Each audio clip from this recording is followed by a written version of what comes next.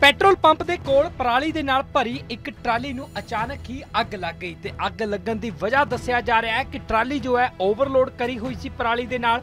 ਤੇ ਉੱਪਰ ਬਿਜਲੀ ਦੀ ਤਾਰਾਂ ਦੇ ਨਾਲ ਸੰਪਰਕ ਦੇ ਵਿੱਚ ਆ ਜਾਂਦੀ ਹੈ, ਜਿਸ ਤੋਂ ਬਾਅਦ ਚੰਗਿਆੜੀਆਂ ਨਿਕਲਦੀਆਂ ਨੇ ਤੇ ਪਰਾਲੀ ਦੇ ਵਿੱਚ ਅੱਗ ਲੱਗ ਜਾਂਦੀ ਹੈ। ਹਾਲਾਂਕਿ ਜਦੋਂ ਇਹ ਅੱਗ ਲੱਗਦੀ ਹੈ, ਤਾਂ ਟਰਾਲੀ ਜੋ ਹੈ, ਕਈ ਕਿਲੋਮੀਟਰ ਤੱਕ ਅੱਗੇ ਤੱਕ ਨਿਕਲ ਜਾਂਦੀ ਹੈ। ਹਾਲਾਂਕਿ ਇੱਕ ਬਾਈਕ ਸਵਾਰ ਦੇ ਵੱਲੋਂ ਟਰੈਕਟਰ ਵਾਲੇ ਨੂੰ ਇਸ਼ਾਰਾ ਵੀ ਕੀਤਾ ਜਾਂਦਾ ਹੈ ਕਿ ਪਿੱਛੇ ਅੱਗ ਲੱਗੀ ਹੋਈ ਹੈ, ਪਰ ਟਰੈਕਟਰ ਸਵਾਰ ਜੋ ਹੈ, ਉਸ ਦੇ ਵੱਲ ਧਿਆਨ ਨਹੀਂ ਦਿੰਦਾ ਅਤੇ ਟਰਾਲੀ ਨੂੰ ਲਗਾਤਾਰ ਅੱਗੇ ਵਧਾਉਂਦਾ ਰਹਿੰਦਾ ਹੈ। ਹਾਲਾਂਕਿ ਜਦੋਂ ਇੱਕ ਪੈਟਰੋਲ ਪੰਪ ਦੇ ਕੋਲ ਪਹੁੰਚਦੇ ਨੇ, ਤਾਂ ਉੱਥੇ ਪਰਾਲੀ ਨੂੰ ਜੋ ਹੈ, ਅੱਗ ਭਿਆਨਕ ਤਰੀਕੇ ਦੇ ਨਾਲ ਲੱਗ ਜਾਂਦੀ ਹੈ, ਜਿਸ ਤੋਂ ਬਾਅਦ ਆਲੇ ਦੁਆਲੇ ਲੋਕਾਂ ਦੀ ਭੀੜ ਇਕੱਠੀ ਹੋ ਜਾਂਦੀ ਹੈ। ਹਾਲਾਂਕਿ ਜਿਸ ਥਾਂ ਦੇ ਉੱਤੇ ਇਹ ਅੱਗ ਲੱਗੀ, ਉਸ ਦੇ ਦੋਨੋਂ ਪਾਸੇ ਪੈਟਰੋਲ ਪੰਪ ਦੱਸੇ ਜਾ ਰਹੇ ਨੇ ਤੇ ਪੈਟਰੋਲ ਪੰਪ ਦੇ ਜੋ ਕਰਮਚਾਰੀ ਸੀ, ਉਹਨਾਂ ਦੇ ਵੱਲੋਂ ਜੋ ਅੱਗ ਬੁਝਾਉਣ ਵਾਲੇ ਯੰਤਰ ਹੁੰਦੇ ਨੇ, ਉਸ ਦੇ ਨਾਲ ਵੀ ਅੱਗ ਨੂੰ ਬੁਝਾਉਣ ਦੀ ਕੋਸ਼ਿਸ਼ ਕੀਤੀ ਗਈ, ਪਰ ਪਰਾਲੀ ਦੇ ਵਿੱਚ ਅੱਗ ਲਗਾਤਾਰ ਵੱਧਦੀ ਜਾ ਰਹੀ ਸੀ, ਜਿਸ ਤੋਂ ਬਾਅਦ ਫਾਇਰ ਬ੍ਰਿਗੇਡ ਨੂੰ ਸੂਚਿਤ ਕੀਤਾ ਜਾਂਦਾ, ਫਾਇਰ ਬ੍ਰਿਗੇਡ ਦੀ ਗੱਡੀਆਂ ਮੌਕੇ ਤੇ ਪਹੁੰਚਦੀਆਂ ਨੇ ਤੇ ਅੱਗ ਦੇ ਉੱਤੇ ਕਾਬੂ ਪਾਇਆ ਜਾਂਦਾ ਹੈ। ਤਾਂ ਦੱਸ ਦਈਏ ਕਿ ਪਰਾਲੀ ਜੋ ਹੈ ਸਾਰੀ ਸੜ ਕੇ ਸੁਆਹ ਹੋ ਗਈ ਹੈ। ਹਾਲਾਂਕਿ ਸਮਾਂ ਰਹਿੰਦੇ ਇਹਨਾਂ ਦੇ ਵਿੱਚੋਂ ਟਰੈਕਟਰ ਨੂੰ ਕੱਢ ਲਿਆ ਗਿਆ ਸੀ, ਜਿਸ ਦੇ ਕਾਰਨ ਟਰੈਕਟਰ ਦਾ ਬਚਾ ਰਿਹਾ ਪਰ ਟਰਾਲੀ ਜੋ ਹੈ ਸੜ ਕੇ ਸਵਾਹ ਹੋ ਗਈ ਹੈ।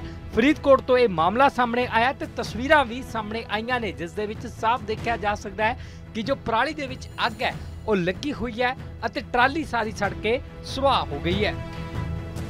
ਇਹ ਤਾਂ ਅਸੀਂ ਜੀ ਘਰੇ ਬੈਠੇ ਸੀ ਸਾਨੂੰ ਫੋਨ ਆਇਆ ਚੌਕੀਦਾਰ ਆਇਆ ਭੱਜਿਆ ਭੱਜਿਆ ਜੀ ਬਾਹਰ ਟਰਾਲੀ ਨੂੰ ਨਾ ਭੋਂਗਾ ਦੀ ਟਰਾਲੀ ਸੀ ਆਈ ਜਾਂਦੀ ਉਹਨੂੰ ਅੱਗ ਪੈ ਗਈ ਆ। ਅਸੀਂ ਜਦੋਂ ਆਏ ਉਹ ਸਾਡੇ ਕੋਲ ਦੂਸਰੇ ਸਿਲੰਡਰ ਹੁੰਦੇ ਆ ਪੰਪ ਤੇ ਜਿਹੜੇ ਅਸੀਂ ਲੈ ਕੇ ਆਏ ਪਰ ਉਹਦੇ ਦਾ ਕੋਈ ਫਾਇਦਾ ਨਹੀਂ ਦੋ ਚਲਾਏ। ਤੇ ਉਸ ਤੋਂ ਬਾਅਦ ਅਸੀਂ ਫਾਇਰ ਬ੍ਰਿਗੇਡ ਨੂੰ ਫੋਨ ਕੀਤਾ 5-10 ਮਿੰਟਾਂ ਦੇ ਬਾਅਦ ਤੋਂ ਬਾਅਦ ਫਾਇਰ ਬ੍ਰਿਗੇਡ ਆ ਗਈ ਇੱਥੇ। ਉਹਨਾਂ ਨੇ ਆ ਕੇ ਅੱਗ ਤੇ ਕਾਬੂ ਪਾਇਆ। ਕਿੰਨੀ ਕੁ ਸਾਰੀ ਸਾਰੀ ਟਰਾਲੀ ਫੁੱਲ ਸੀ ਲੋਡ ਜੀ ਸਾਰੀ ਮੱਚ ਗਈ। ਬਹੁਤ ਵੱਡਾ ਰਿਸਕ ਸੀ ਜੇ ਨਾ ਟਾਈਮ ਨਾਲ ਆਉਂਦੀ ਫਾਇਰ ਬ੍ਰਿਗੇਡ ਤੇ ਬਹੁਤ ਵੱਡਾ ਰਿਸਕ ਸੀ ਇਹ। ਇਹਦਾ ਬੈਨ ਹੋਣੀ ਚਾਹੀਦੀ ਹੈ ਜੀ ਬਿਲਕੁਲ ਬੈਨ ਹੋਣਾ ਚਾਹੀਦਾ ਜਾਂ ਤਾਂ ਇਹ ਮਤਲਬ ਕੋਈ ਇਹਨਾਂ ਦਾ ਕੋਈ ਹੋਵੇ ਤਰੀਕੇ ਨਾਲ ਲੈ ਕੇ ਜਾਣ ਪਰ ਆ ਜਿਵੇਂ ਖੁੱਲੇ ਆਵੇਂ ਲਈ ਫਿਰਦੇ ਇਹਦਾ ਤਾਂ ਕੋਈ ਬਹੁਤ ਵੱਡਾ ਹਾਦਸੇ ਨੂੰ ਕਾਰਨ ਬਣ ਸਕਦਾ ਹੈ ਫੁੱਲ ਲੋਡ ਸੀ ਜੀ ਫੁੱਲ। ਤਾਰਾਂ ਨਾਲ ਸਪਾਰਕ ਹੋਈ ਹੈ ਉਹਦੇ ਨਾਲ ਕੋਈ ਹੋਇਆ ਇਹ। ਹਾਈਟ ਜ਼ਿਆਦਾ ਸੀ ਹਾਈਟ ਜ਼ਿਆਦਾ ਸੀ ਹਾਂਜੀ। ਇਹ ਦੋ ਟਰਾਲੀਆਂ ਸੀ ਇੱਕ ਤਾਂ ਅੱਗੇ ਚਲੀ ਗਈ ਹੈ ਇੱਕ ਰਹਿ ਗਈ ਹੈ ਤੇ ਪਿੱਛੋਂ ਥੋੜੀ ਜਿਹੀ ਅੱਗ ਪਈ ਸੀ ਬਸ ਹੌਲੀ ਹੌਲੀ ਪਿੱਛੋਂ ਇਹਨੂੰ ਮੋਟਰਸਾਈਕਲ ਨੇ ਆਵਾਜ਼ ਵੀ ਦਿੱਤੀ ਵੀ ਰੋਕ ਲਓ ਪਰ ਉਹਨਾਂ ਨੂੰ ਗੱਲ ਹੀ ਨਹੀਂ ਸੁਣੀ। ਹੌਲੀ ਹੌਲੀ ਅੱਗ ਵੱਧ ਗਈ। ਜੇ ਟਰੈਕਟਰ ਵੀ ਉਹਨੂੰ ਵੀ ਕਹਿੰਦੇ ਬੜੀ ਮੁਸ਼ਕਲ ਨਾਲ ਬਚਾ ਕੇ ਹਾਂਜੀ ਹਾਂਜੀ ਟਰੈਕਟਰ ਨੂੰ ਆ ਕੇ ਇਹਨਾਂ ਨੂੰ ਦੱਸਿਆ ਵੀ ਤੁਸੀਂ ਇੱਕ ਵਾਰ ਟਰੈਕਟਰ ਪਾਸੇ ਕਰੋ ਮੈਂ ਹੀ ਇਹਨਾਂ ਨੂੰ ਮੈਸੇਜ ਲਾਇਆ ਵੀ ਟਰੈਕਟਰ ਅੱਗੇ ਕੱਢ ਦਿਓ ਉਸ ਤੋਂ ਬਾਅਦ ਟਰਾਲੀ ਸਾਰੀ ਛੱਡ ਗਈ। ਇੱਕ ਹੀ ਸੀ ਇਹ ਤਾਂ ਇੱਕ ਅੱਗੇ ਚਲੀ ਗਈ ਸੀ ਉਹ ਵੀ ਫੁੱਲ ਲੋਡ ਸੀ। ਸਰ ਮਗਰੋਂ ਹੀ ਕੋਈ ਸ਼ਰਾਰਤ ਕਰ ਗਿਆ ਕੋਈ ਲਾ ਗਿਆ। ਕਿੱਥੋਂ ਆ ਕਿੱਥੋਂ ਰਹੇ ਸੀਗੇ? ਅਸੀਂ ਆ ਕੰਮਿਆਂ ਗੇਟ ਤੋਂ ਹੀ ਆ ਰਹੇ ਸੀ।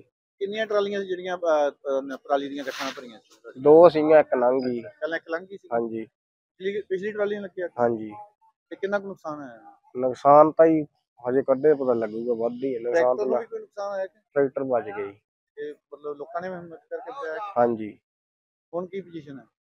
ਮਿਸ਼ਨ ਇਹੀ ਹੈ ਜੀ ਹੁਣ ਤਾਂ ਕੋਈ ਮਸ਼ੀਨ ਆਵੇ ਤਾਂ ਬਾਹਰ ਕੱਢੀਏ। ਦੂ- ਦੂਜੀ ਟਰਾਲੀ ਪਹਿਲਾਂ ਨਿਕਲ ਗਈ ਸੀ ਕਿਸੇ ਕੰਮ ਸਹੀ ਸਲਾਮਤ ਨਿਕਲ ਗਈ। ਨਹੀਂ ਇਹ ਬਿਜਲੀ ਸਪਾਰਕ ਨਾਲ ਵੀ ਹੋ ਸਕਦੀ ਕਿ ਕਿਸੇ ਨੇ ਜਾਣ ਬੁੱਝ ਕੇ ਸ਼ਰਤ ਜਾਣ ਬੁੱਝ ਕੇ ਸ਼ਰਾਰਤ ਕੀਤੀ ਚੱਕ ਲੰਘੇ ਆ ਸਾਡੇ ਕੋਲ ਦੀ ਲੰਘੇ ਆ ਜੀ।